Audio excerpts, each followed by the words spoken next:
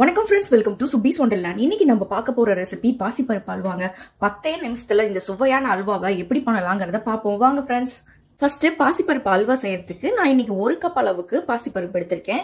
இப்போ நம்ம இதை தண்ணியில ஆட் பண்ணிட்டு நல்லா களைஞ்சு எடுத்துக்குவோம். இப்போ இந்த தண்ணி எல்லாத்தையும் நல்லா ஃபில்டர் பண்ணி பாசிப்பருப்பை மட்டும் தனியாக எடுத்துட்டு வந்துடலாம் இப்போ பாருங்க தண்ணி எல்லாத்தையும் நல்லா ஃபில்டர் பண்ணி எடுத்துட்டு வந்தாச்சு. இப்போ நம்ம ஒரு பாத்திரத்தை ஹீட் பண்ணியிருக்கேன். இதில் வந்து நம்ம ஆல்ரெடி ஃபில்டர் பண்ணி வச்சுருந்த பாசி பருப்பை வந்து ஆட் பண்ணிக்கிறேன். இப்போ இதை நல்லா நம்ம ட்ரை ரோஸ்ட் பண்ணி எடுத்துக்கலாம்.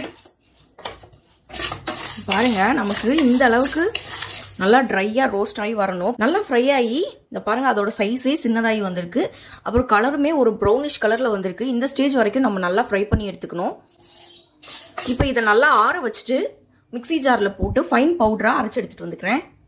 பாருங்க இந்த அளவுக்கு நம்ம ஒரு ஃபைன் பவுடராக அரைச்சி எடுத்துகிட்டு வந்திருக்கோம். இப்போ ஒரு பேனை ஹீட் பண்ணியிருக்கேன். பேன் நல்லா சூடானதும் இதில் ரெண்டு டேபிள் ஸ்பூன் அளவுக்கு நெய் ஆட் பண்ணிக்கிறேன்.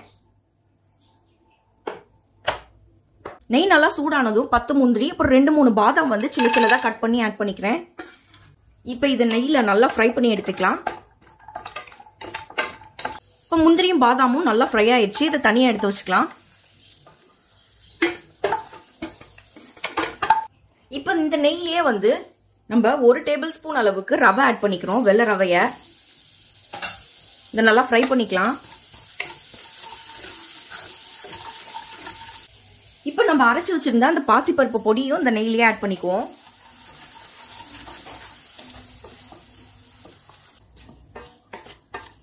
பாருங்க ரொம்ப நேரம் ஃப்ரை ஆகணும்னு அவசியம் இல்லை. ஒரு ரெண்டு டு மூணு நிமிஷம் வந்து ஃப்ரை பண்ணி எடுத்துட்டா போதும். இது எல்லாமே ஒரு மிதமான ஹீட்லயே வச்சு ஃப்ரை பண்ணிக்குவோம்.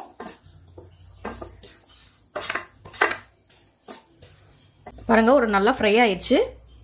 இப்போ இதில் வந்து தண்ணி ஆட் பண்ணிக்கலாம்.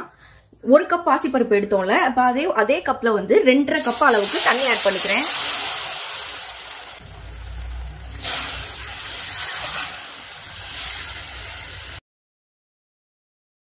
ஃபஸ்ட்டு இதை நல்லா மிக்ஸ் பண்ணி விட்டுக்குவோம். அதுக்கப்புறமா ஹாஃப் கப் ஆட் பண்ணிக்கலாம்.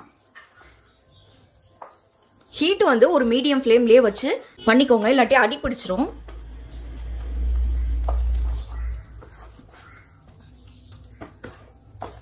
பாருங்க இந்த அளவுக்கு லைட்டாக கெட்டியானவுடனே இன்னும் கொஞ்சம் ஆஃப் கப்பாக ஆட் பண்ணிக்கிறேன்.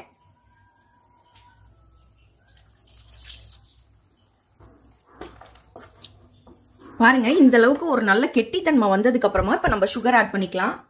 நம்ம பாசிப்பருப்பு எடுத்தோம் பாத்தீங்களா? அதே அளவுக்கு சுகர் ஆட் பண்ணியிருக்கேன் நான். இன்னைக்கு நான் ஒரு கப் அளவுக்கு சுகர் ஆட் பண்ணிக்கிறேன். நல்லா மிக்ஸ் பண்ணிக்குவோம்.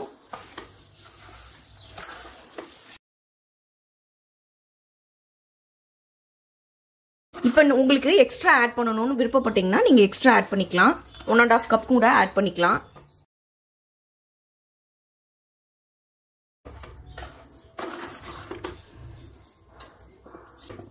சுகர் ஆட் பண்ண உடனே நல்லா இந்த மாவு வந்து அல்வா பதத்துக்கு இலகி வர ஆரம்பிச்சிரும். எந்த ஒரு கட்டிகளும் இல்லாமல் இந்த மாவை நல்லா மிக்ஸ் பண்ணி எடுத்துக்கணும். இந்த ஸ்டேஜில் நம்ம ஒரு டேபிள் ஸ்பூன் அளவுக்கு நெய் ஆட் பண்ணிக்கலாம். நல்லா மிக்ஸ் பண்ணி விட்டுக்குவோம்.